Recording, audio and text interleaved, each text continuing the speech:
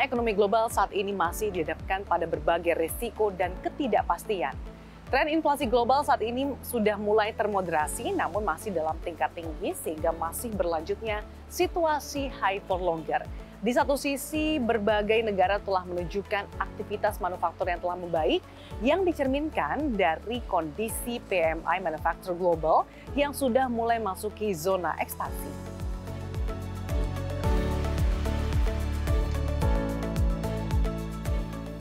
Di sisi lain, volatilitas harga komoditas masih terus terjadi yang dipengaruhi oleh faktor penawaran, permintaan, kemudian perubahan iklim, bahkan terkait dengan meningkatnya eskalasi geopolitik. Pertumbuhan ekonomi global di tahun 2024 juga diproyeksikan masih relatif rendah yang dipicu oleh berbagai faktor, mulai dari tingginya suku bunga atau era higher for longer, kemudian terbatasnya ruang kebijakan pemerintah, hingga perubahan iklim dan juga bahkan terkait dengan tensi geopolitik.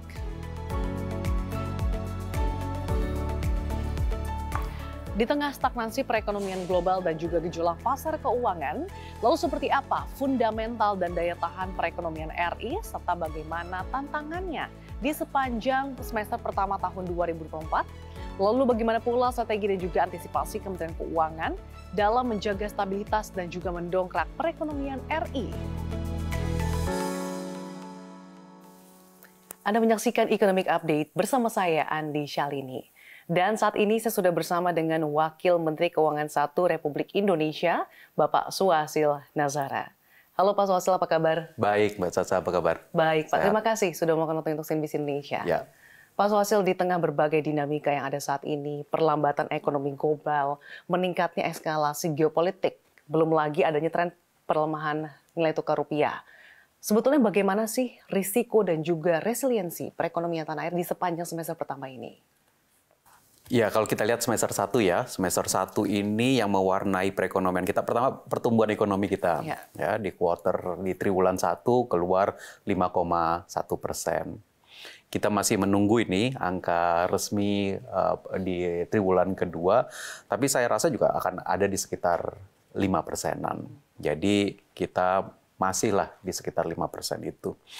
Kemudian inflasi kita uh, sekarang sekitar dua setengah persen dan ini lebih rendah dibandingkan tahun lalu yang sekitar tiga persenan.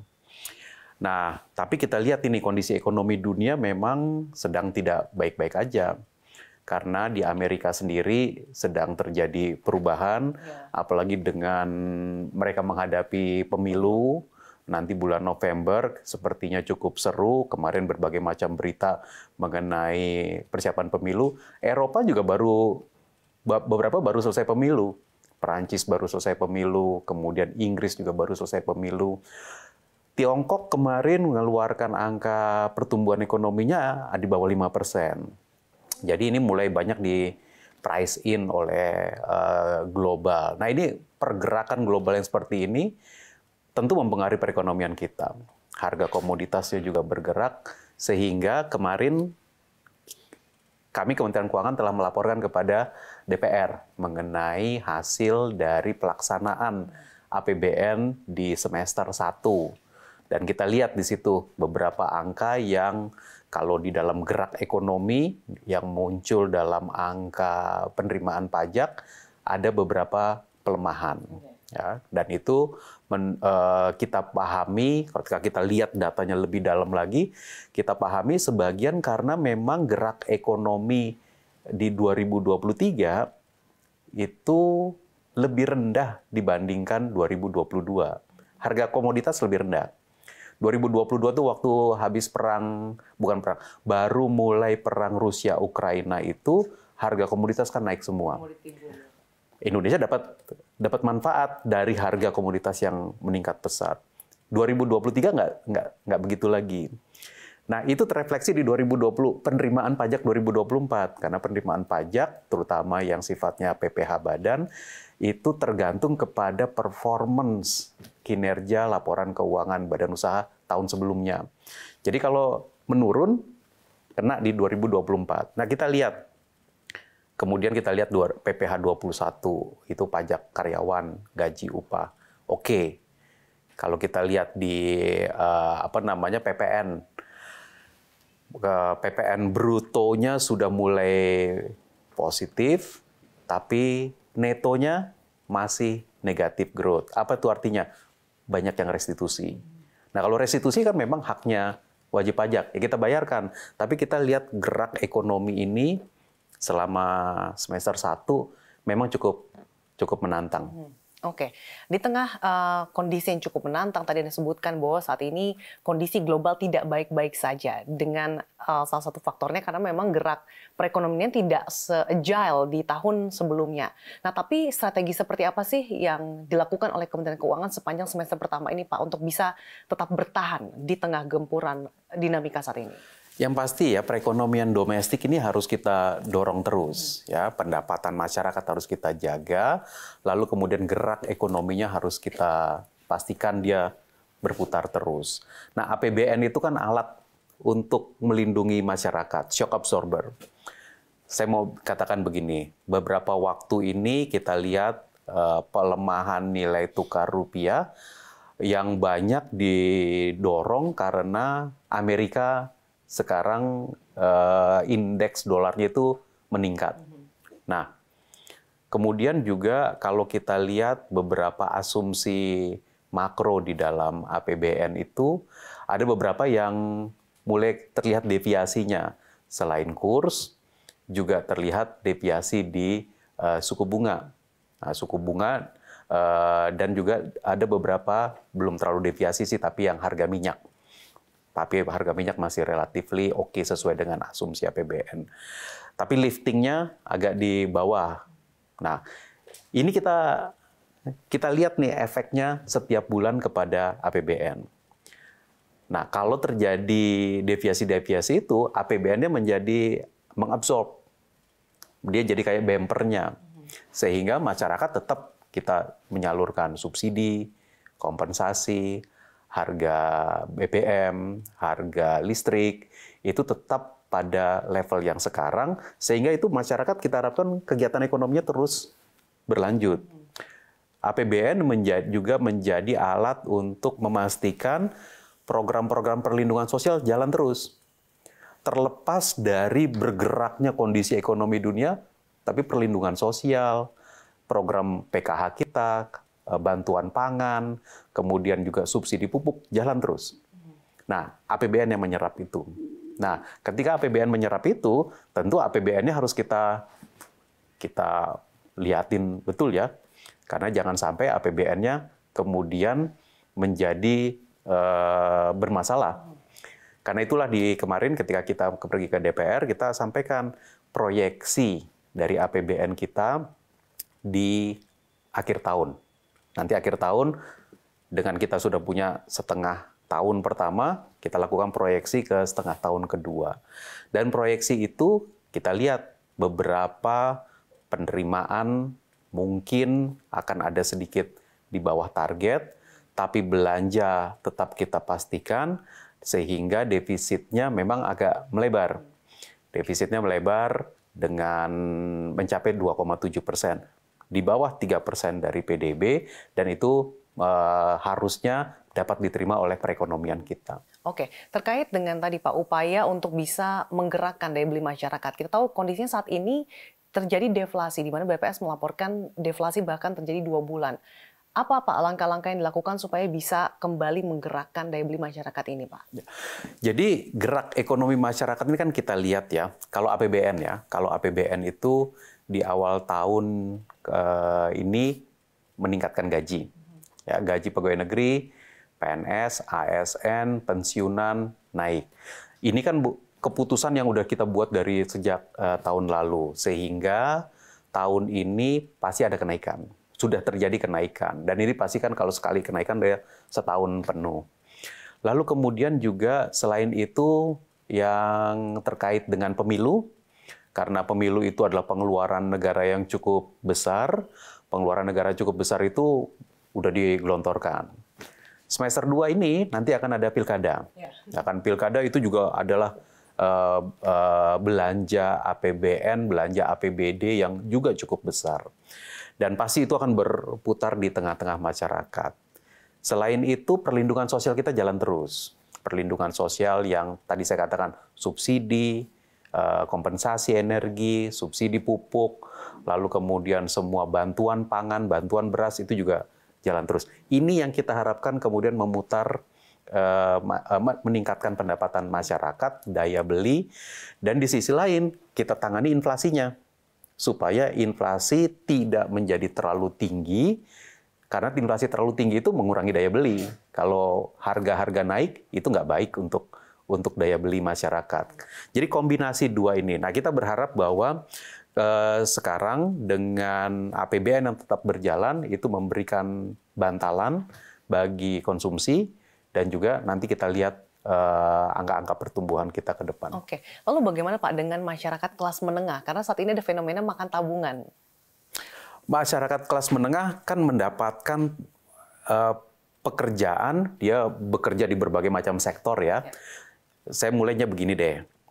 Eh, APBN itu kalau di dalam perekonomian kita, dalam total PDB kita adalah sekitar 14-15 persen. Belanja APBN itu sekitar 14 atau 15 persen kontribusi langsungnya dalam penciptaan produk domestik bruto. 85 persen lagi yang ciptakan siapa? perekonomian. Di situlah konsumsi, di situlah investasi, di situlah ada uh, ekspor dan impor. Nah, kita juga lihat bahwa angka APBN 14-15 persen itu stabil banget di perekonomian kita. Jadi gerak ekonomi itu dilakukan oleh masyarakat dan peran dari APBN itu masuk ke titik-titik yang kemudian bisa menciptakan 85 persen. 15 persen APB, 15 persen kontribusi APBN terhadap PDB harus bisa menciptakan 85 persen yang lain. Nah, di mana saja dia? Nah, itu yang tadi saya katakan di titik-titik yang menjaga daya beli, di titik-titik yang menjaga uh, pendapatan masyarakat, khususnya masyarakat bawah. Nah, pertanyaannya barusan masyarakat kelas menengah. Masyarakat kelas menengah adalah masyarakat yang mendapatkan pekerjaan 85 persen itu itu dia uh, dia dapat income, dapat pekerjaan, dapat income, mendapatkan manfaat dari infrastruktur kita, mendapatkan manfaat dari berbagai macam berbagai macam pengeluaran pemerintah. Nah, tentunya manfaat ini yang diputar ya. Nah, itulah perekonomian kita itu bekerja dengan cara seperti tadi. Sebagian masyarakat kita bayar pajak, kelas yang atas, kelas menengah atas bayar pajak, pajaknya masuk ke anggaran negara, anggarannya negara dipakai lagi untuk belanja perlindungan sosial, belanja infrastruktur, belanja negara, berputar dia. Nah, ini cara kita uh, bekerja dan yang APBN tadi yang 14-15 persen dari PDB-nya. Oke, tadi di awal Anda sempat mention ya Pak terkait dengan uh, pendapatan negara. Boleh Pak dielaborasikan seperti apa Pak? Apalagi kondisinya saat ini kan cukup banyak tantangan Pak utamanya dari global. Pendapatan negara kita ya, kalau kita lihat kemarin semester 1 yang terjadi adalah uh, penerimaan negara pendapatan negara kita secara total, total itu artinya penerimaan pajak, penerim, kepabianan dan juga dengan penerimaan negara bukan pajak itu on the track. Ya, on the track. Nah, on the track-nya itu tapi kalau kita lihat detailnya di dalam itu tentu ada perbedaan antara pajak, kepabianan dan cukai dan juga penerimaan negara bukan pajak. Nah, biasanya yang benar-benar kita perhatikan untuk mendapatkan sense mengenai denyut perekonomian itulah penerimaan pajak. Ya. Penerimaan pajak pertambahan nilai misalkan, PPN. PPN itu baru ada kalau ada transaksi. Kalau nggak ada transaksi nggak bayar PPN. Ya kan? Nah, karena itu kita perhatikan PPN-nya sektor mana yang naik, sektor mana yang turun. Apa yang terjadi dengan PPN kita sekarang? PPN yang dan terjadi dengan PPN kita adalah secara bruto ada pertumbuhan dibandingkan tahun lalu. Tapi secara neto pertumbuhannya negatif. Artinya ada restitusi. PPN itu bisa dimintakan restitusi. Nah, itu PPN. Perbedaan sektornya bisa dilihat dalam data. Komponen yang lain yang juga penting adalah pajak penghasilan. Nah, kita lihat nih, siapa aja yang bayar pajak penghasilan? Yang bayar pajak penghasilan satu komponen adalah pekerja. Ya, kita pekerja nih, biasanya kita dipotong tuh pajak penghasilan kita oleh kantor kita. Ketika dikumpulkan semua seluruh Indonesia, lalu kemudian teman-teman di DJP melihat pajak penghasilan gimana? Pajak penghasilan, khususnya pajak penghasilan pasal 21 itu sebutannya, tumbuh positif. Jadi serapan tenaga kerja dan kemudian juga bagaimana tenaga kerja itu masih tetap mendapatkan uh, pekerjaan, masih ada benefit, masih ada gaji, bahkan masih ada yang gajinya naik. Itu berarti gerak ekonominya akan muncul nantinya. Bagaimana dengan uh, eh, PPH badan? Nah, PPH badan sangat dipengaruhi oleh badan usaha. Badan usaha kita seperti apa? Nah, badan usaha kita ada beberapa titik yang kita lihat memang kayak sektor pertambangan itu agak berat. Agak berat. Pertumbuhannya uh, tidak seperti yang kita harapkan. Nah ini satu-satu kita kita lihat ya satu-satu kita lihat. Perlambatan permintaan dari negara-negara maju juga dan juga harga komoditas itu juga harga komoditas ya? bukan hanya harga komoditas sekarang tapi harga komoditas dibandingkan tahun-tahun yang lalu. Karena kan perusahaan itu kan ya dia kalau misalkan dia melakukan ekspor, dia kemudian ya mendapatkan penerimaan dari ekspor. Tapi ekspor kita masih relatif baik neraca perdagangan kita masih surplus untuk eh, empat uh, tahun lebih. Dan itu baik untuk uh, ekspor uh, net ekspor kita. Tapi harus kita waspadai terus apa yang terjadi di globalnya. Oke, di tengah uh, kewaspadaan global, uh, Pak Suhasil, bagaimana dengan belanja negara? Apakah memang sudah disalurkan dengan cukup optimal? Belanja negara, beberapa jenis belanja negara kita udah tahu dari sejak tahun lalu karena udah di di di setel gitu ya. Tadi manfaat gaji dan pensiun bagi uh, eh, PNS, TNI, ASN dan juga Polri itu meningkat. Nah, ini kan kita laporkan terus tiap bulan. Kemudian juga belanja-belanja prioritas kita untuk infrastruktur jalan terus.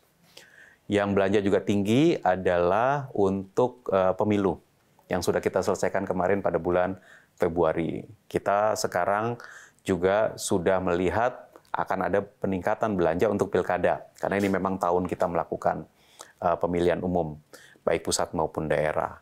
Kemudian yang juga tinggi adalah terus belanja-belanja yang sifatnya per, untuk melakukan perlindungan sosial. Subsidi kompensasi kita kita jalankan terus.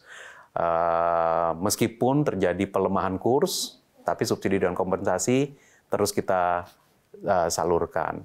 Jadi PLN dan Pertamina tetap bisa mengadakan listrik, mengadakan BBM pada harga yang uh, memang sudah ditetapkan. Ini adalah bagian dari belanja-belanja yang besar. Nah, yang mesti kita waspadai memang adalah belanja-belanja yang sangat terpengaruh dengan asumsi makro. Terpengaruh kurs, terpengaruh dengan harga minyak Indonesia, terpengaruh oleh suku bunga. Nah, itu yang harus kita perhatikan dengan baik sampai dengan akhir tahun.